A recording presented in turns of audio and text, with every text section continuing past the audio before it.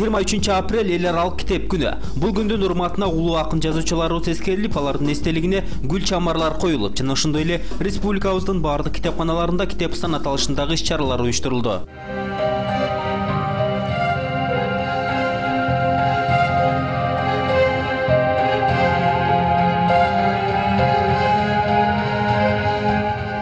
Кетті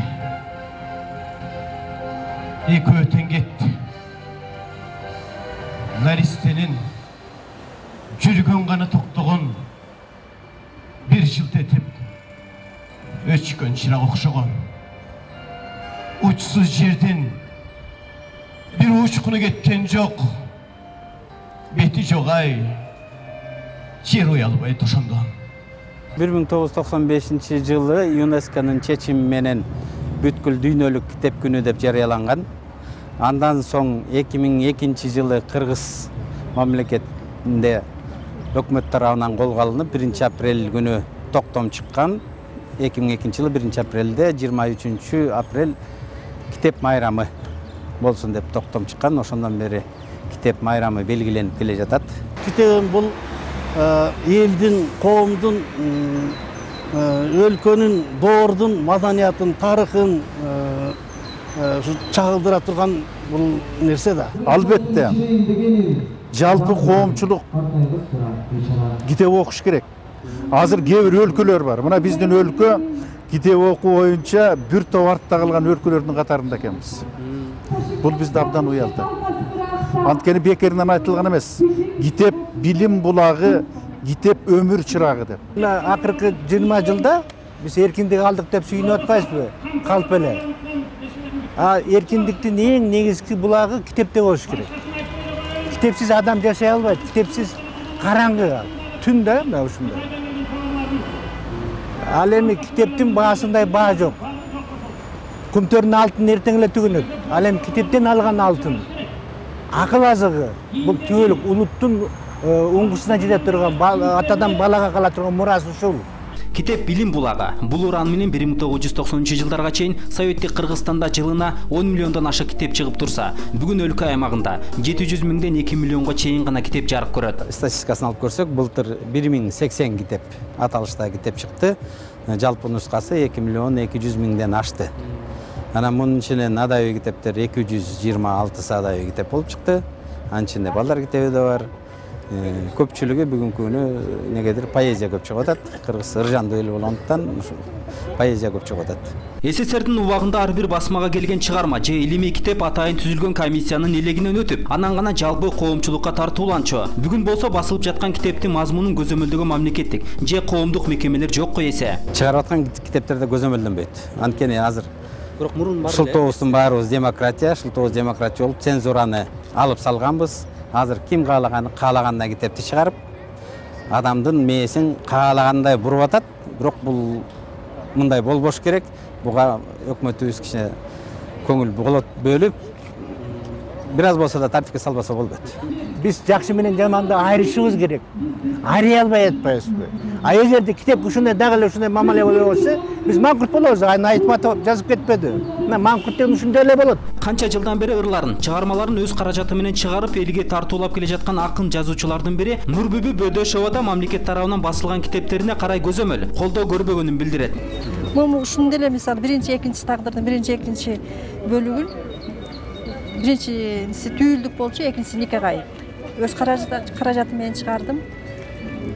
Анткени баягы бир көкүрөктө болгон нерсени баары бир жазгың келет чыгаргың келет. Анан аны башка бирөөгө барып таңбуулабайсың анан болгон каражат менен чыгарып элем эл да окусун деп ойлойсуң да байкасаңыздар эгемендикти алгандан бери китепке болгон суроо талап түшүп кеткендей. Буга эмне себеп балким чынында эле калеми курч чындыкты жазган акын жазуучуларыбыздын аздыгыбы же рынок экономикасынын орношу менен карапайым элибиздин китеп окууга убактысы жок болуп калдыбы сиздер кезинде мен отуз эки жыл китеп иштегем азыркы китептер китеп эмес бул товар бир күндүк товар да аны окусаң да болот окуй койсоң да эчтеке бербейт алса сени кызыктырбайт сенин жиниң келет бир убакта эмне үчүн окудум десең да ачууң келет биз бала кездеги ушундай сүйүп бала кезде ушундай түнү бою калып окучу элек да бир күн эки күн үч күн баягы түнү бою окуп ушундай кызыкчу элек азыр эми көпчүлүктөр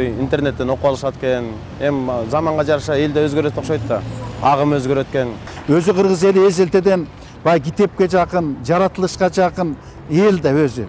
Бирок мына бул э, кандайдыр бир мына бул бир системадан бир системага өткөн учурда э, же болбосо ушундай бир эмелер э, кичине бир таасир этип койду. Азыр байкуш эл мына бул оокаттын айынан китеп окуй албай көрө оокаттын айынан күнүмдүк турмуштун айынан китеп окуй албай байкуштар ошол баягы күнүмдүк көрө оокатка аралашып калды да бул жерден эми элди дагы биз албетте күнөөлөй албайбыз. Анткени жашаш керек курсагын тоюлуш керек иштеш керек байкуштар эптеп бала чагасын багыш керек. Ошону менен байкуштар китеп окуганга убактысы жетпей атат мен ойлойм кудай буюрса мына заманыбыз оңолот кудай буюрса заманыбыз оңолот өлкөбүз оңолот ошол убакта кайрадан эл адабиятка кайрылат театрларга кайрылат поэзияга кайрылат эл кайрадан жаратылыш менен болот.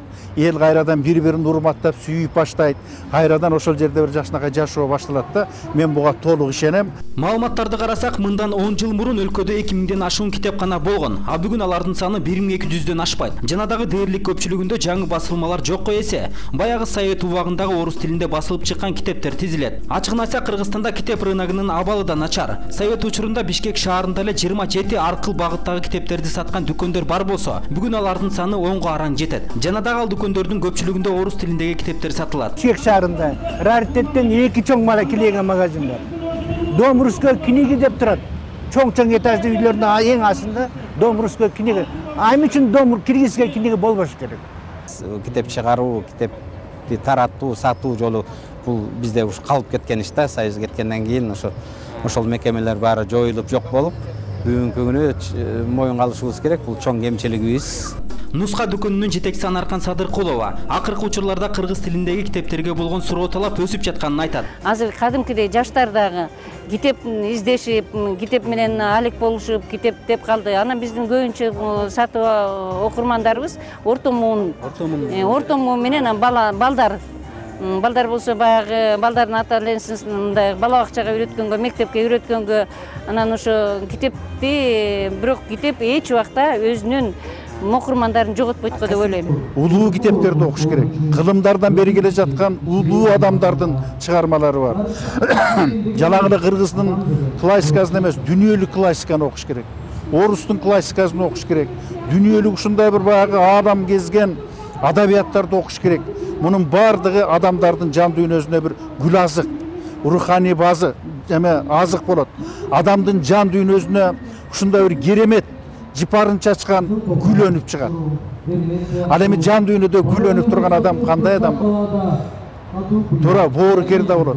Адамгерчилиги бийик. Өзүнүн элин сүйгөн жерин сүйгөн жаратылышты сүйгөн ааламды сүйгөн.